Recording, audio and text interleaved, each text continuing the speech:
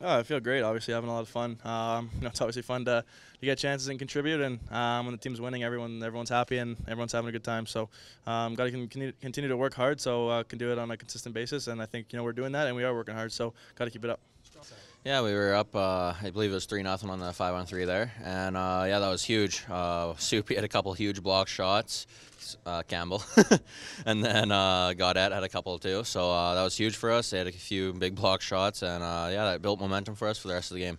Yeah, that was definitely huge. You know, it was a big turning point in the game. You know, we were already we were already ahead, but uh, you know, it gave us some momentum, and you know, it was definitely a huge kill for us.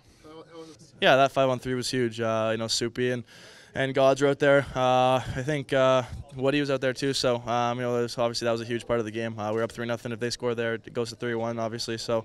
Um, no, it's, uh, it's a critical point in the game, and Hiller made some huge saves and uh, got a, you know, some some key penalty kills.